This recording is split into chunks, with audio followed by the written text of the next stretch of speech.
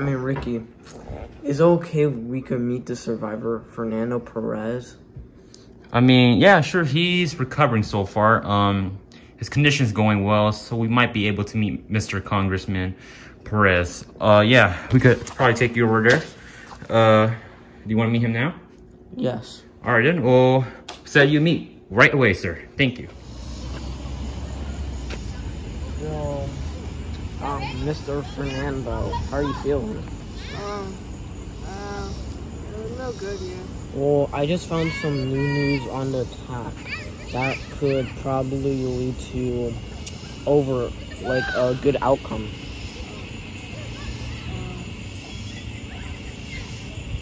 Oh, yeah. Oh, I'm good about it, yeah.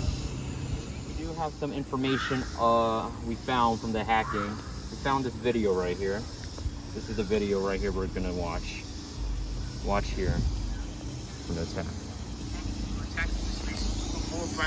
I'm going to destroy every taxi we. We will blow up private ones, and we will We also found a simulation of the video.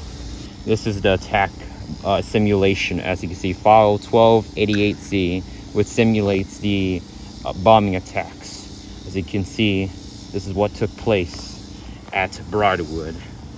Now, the administration is working hard to find out who placed it here, but we have someone's name when we ID'd the files. His name is, his name goes by CAG. That's his alias ID. But we do have to um, take some precautions in war or measures to prepare this nation for a possible potential attack.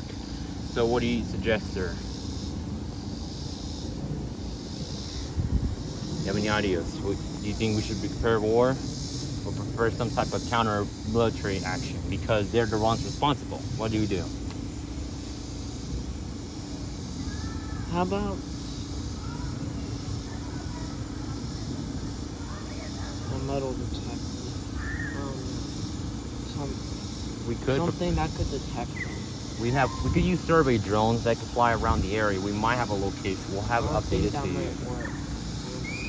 What about what about X-rays or like um thermal vision drones maybe? We could see what's in the target. Uh huh.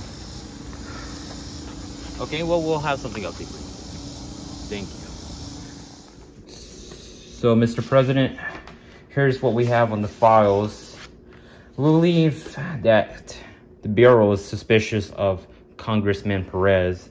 He might have been an accomplice or working with the VIP, and we believe that the video might be just as a puppet to trick us with Elias CAG we identified. We're still working on the full name, but this was apparently an air raid shelter that was built during the renovations of the assembly building.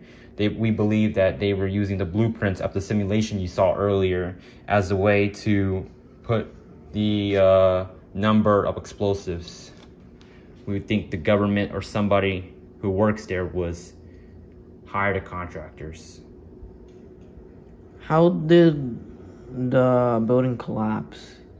uh, using cable wiring that was doing using during the renovations, and we believe that they were using that air raid shelter to protect Congressman Perez because there's no probability that he would survive without that air raid shelter. Somebody must have contracted him and planned this out. Hmm. There's a traitor among us. Yes, there is. There is something out there, and the truth is out there indeed.